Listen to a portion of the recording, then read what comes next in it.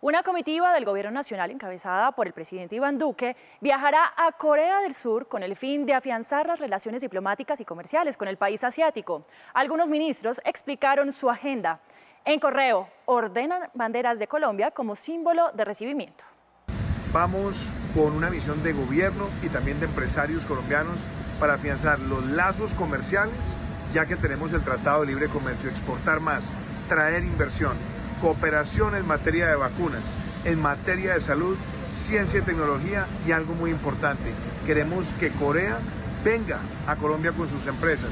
Hemos segmentado 27 compañías coreanas y estamos en revisión de posibilidades de inversión en los siguientes sectores.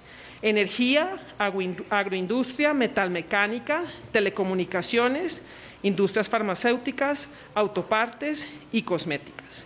Y dentro del área de producción de vacunas vamos a estar trabajando con al menos dos empresas eh, coreanas, BK, Bioscience y con la empresa Daewoo eh, Vaccines y probablemente con Samsung Vaccines también.